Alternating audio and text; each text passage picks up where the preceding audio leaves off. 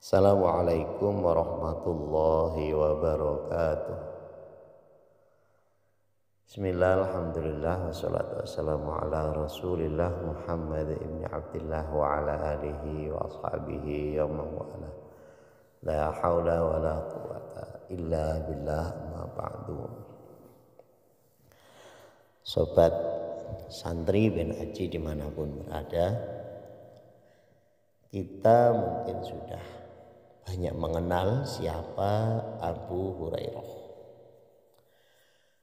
satu sahabat yang paling banyak meriwayatkan hadis Nabi.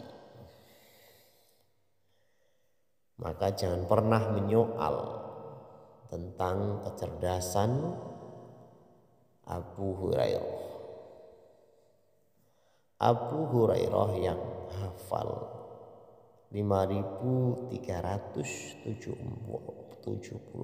hadis Padahal bersamaan dengan Rasulullah hanya 2 sampai 3 tahun saja.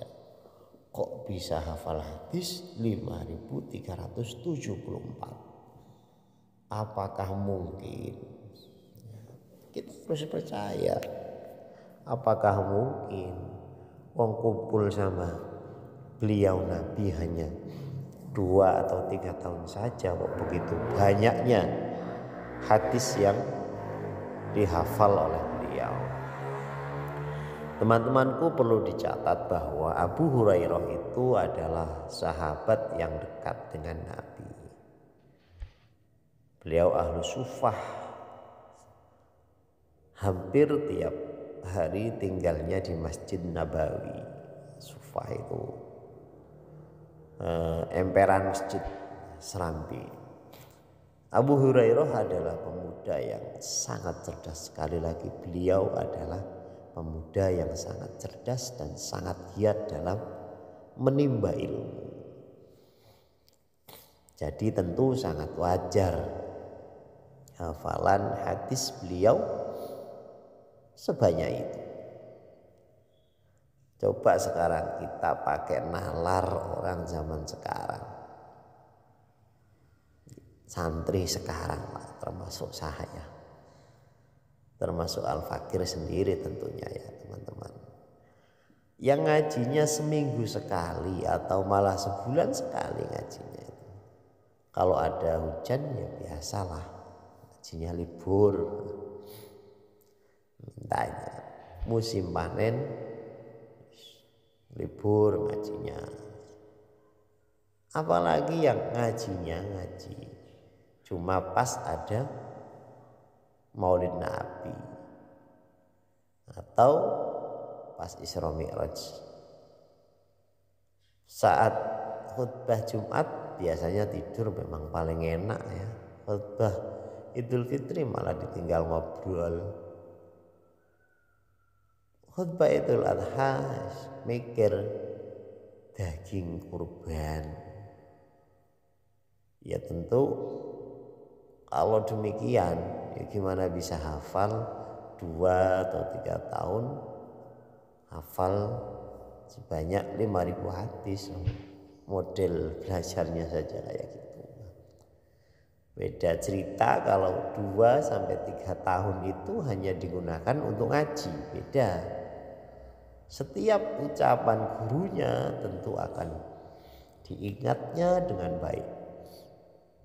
Apalagi jika gurunya itu seorang Rasulullah. Enggak main-main gurunya itu Rasulullah. Yang tidak berucap kecuali ucapannya itu adalah wahyu. Pikiran tidak disibukkan dengan mencari dunia, fokus mendengarkan dan menghafal cinta yang mendalam kepada gurunya plus juga dapat doa dari seorang nabi.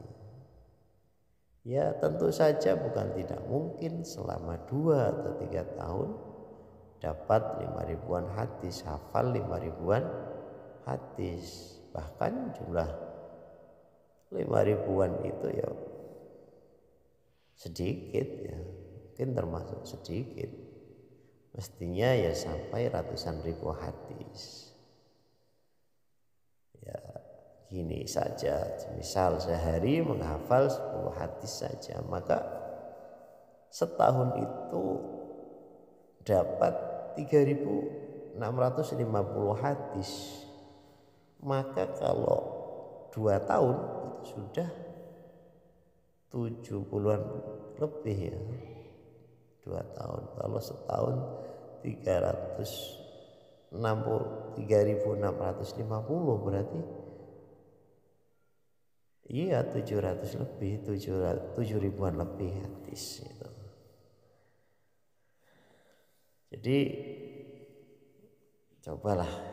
Nggak perlu kita kok bisa ya Abu Hurairah? Nggak perlu. Apa kita memikirkan? Abi Hurairah nggak perlu disoal tentang kecerdasan beliau itu nggak perlu. Oh ya sembayangannya begini saja. Kita saja yang banyak dosa banyak maksiat dan tidak berada di bawah didikan Rasulullah langsung. Kalau mau ada ujian ataupun apalah yang diperlukan untuk hafal hadis itu kadang semalam itu bisa hafal lima atau sepuluh atau bahkan yang cerdas ya ada yang sampai hafal lima belas bahkan lebih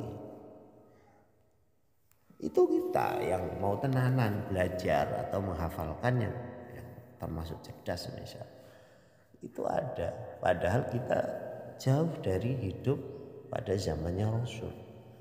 Apalagi sekelas Abu Hurairah masa nggak bisa ya tentu saja sangat bisa gitu ya.